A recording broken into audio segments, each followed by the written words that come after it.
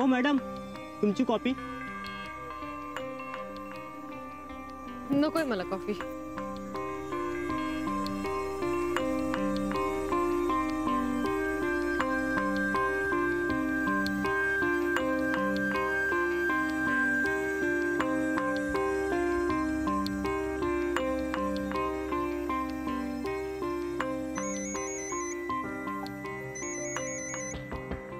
हा बोल. निघाले हा मी इथून. खूप झालं आता. म्हणजे? तू अजून आला नाहीये का? नाही. दोन तास थांबले मी विक्रांत. अजून किती थांबायचं? म्हणजे खूप डोक्यात गेला हा माणूस माझ्या. झालं ना तुझं समाधान? आता मी काय केलंय? म्हणजे काय? तूच म्हणालास ना नखरे असतात तुम्हा मुलींचे? मोठ्या त्याची बाजू घेऊन बोलत होतास.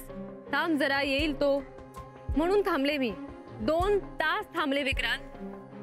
संपले माझे पेशन्स आता. चल बाय तू तू थांब तिथे मी येतो ओके काही गरज नाही कोणी यायची. मी जाते.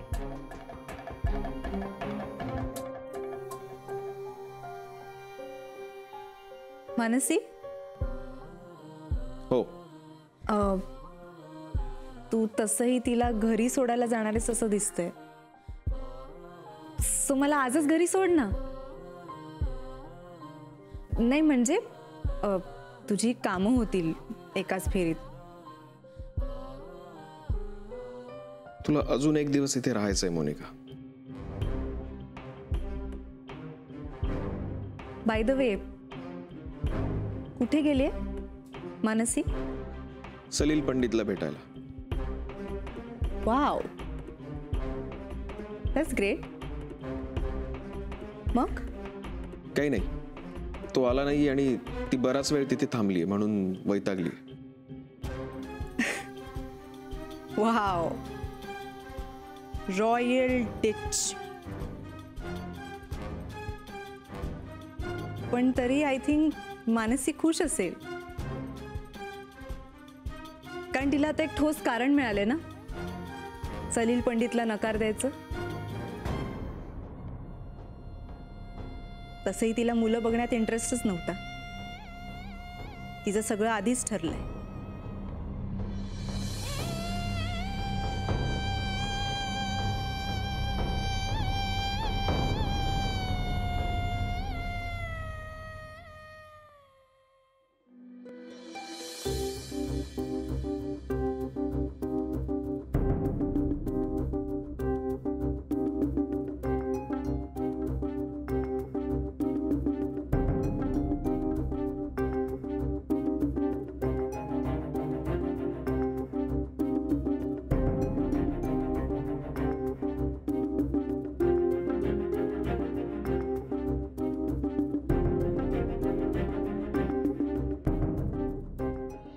पण मग आता काय करता येईल?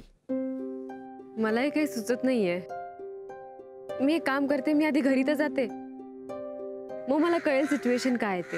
हो पण तू आत्ता कुठे आहेस? इथेच बाहेर आहे. ओके अं, मग तू हॉस्पिटलला येऊ नकोस. डायरेक्ट तिकडे जा. हो मी ऑलरेडी निघालेच आहे. आणि हो काहीही झालं तरी आजीला इकडे येऊ देऊ नकोस. कारण ती जर इथे आली ना तर ती मोनिकाला नक्की घरी घेऊन जाईल.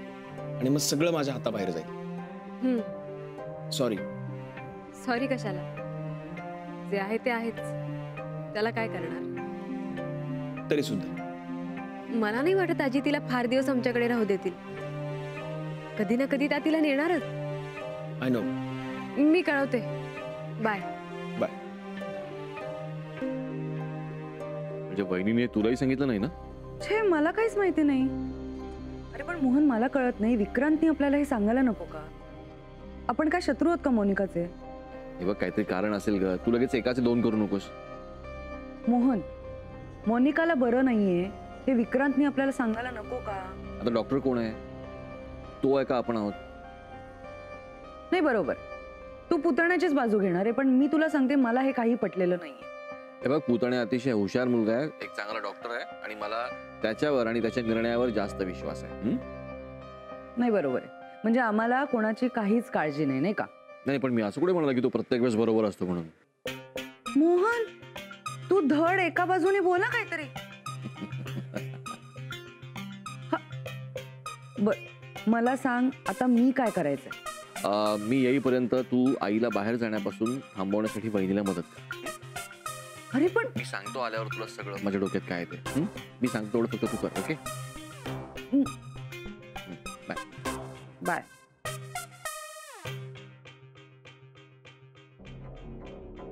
नेमका मधू आजच उशीर करणार बघ.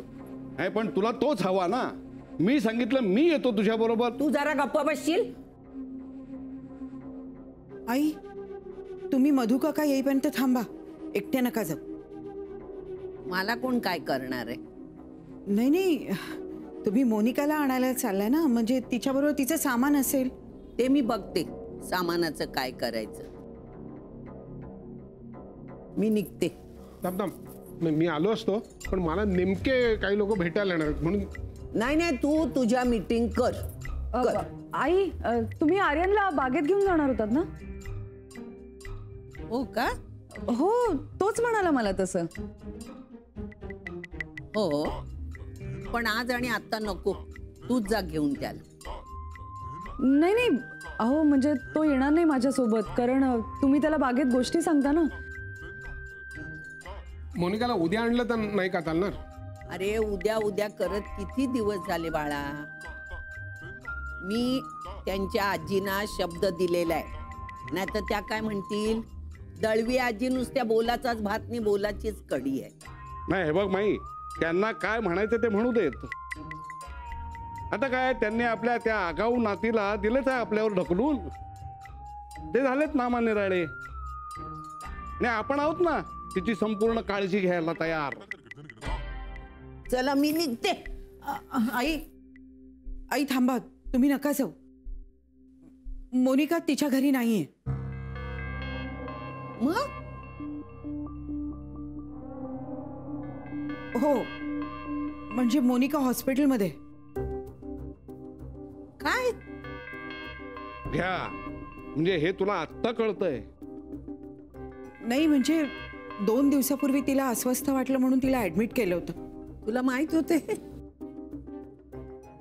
मला आणि यांना सुद्धा. हो म्हणजे विक्रांतने आम्हाला जरा उशिराच सांगितलं. पण आता बरी आहे ती म्हणजे काळजीचं काही कारण नाहीये. तुला माहीत होतंय. मग मला का नाही सांगितलं? विक्रांतला सांगावंसं वाटलं नाही ना? कारण आता आजीचा काही उपयोगच राहिला नाही. अरे केव्हापासून म्हणते मोनिकाला घरी आणा घरी आणा. का करतोय तू असं? नाही नाही तसं काही नाहीये. मग कसं आहे? मोहन तुला माहीत होतं मोनिका हॉस्पिटलमध्ये आहे ती? अं, न- न- नाही आई म्हणजे मला आत्ताच मोनिका हॉस्पिटलमध्ये? मग आपण जाऊया ना तिला बघायला? आपण सगळे जाऊया तिला भेटायला. पण विक्रांतनी हे माझ्यापासून लपून ठेवलं नाही हे चांगलं नाही केलं. अरे मानसी. तू का आलीस? तू सुद्धा नाही सांगितलंस आम्हाला. सांग मला तुझी बहीण आमची कोणच नाहीये का? ही विक्रांतनी तुला गप्प केलाय? विक्रांतनेच मला पाठवलंय. तुम्हाला सगळ्यांना घेऊन जाण्यासाठी. झालं बोलणं? मिस्टर अँड मिसेस दळवींचं? तुझे टोमणे मारून झाले? फार त्रास होतोय. कशाला आलायस? आपण माझ्या घरी जातो. My god thank you thanks Vikrant. Monika. आपण डिवोर्ससाठी अर्ज दिलाय विसरू नकोस. अजून सहा महिने आहेत हे तूही विसरू नकोस.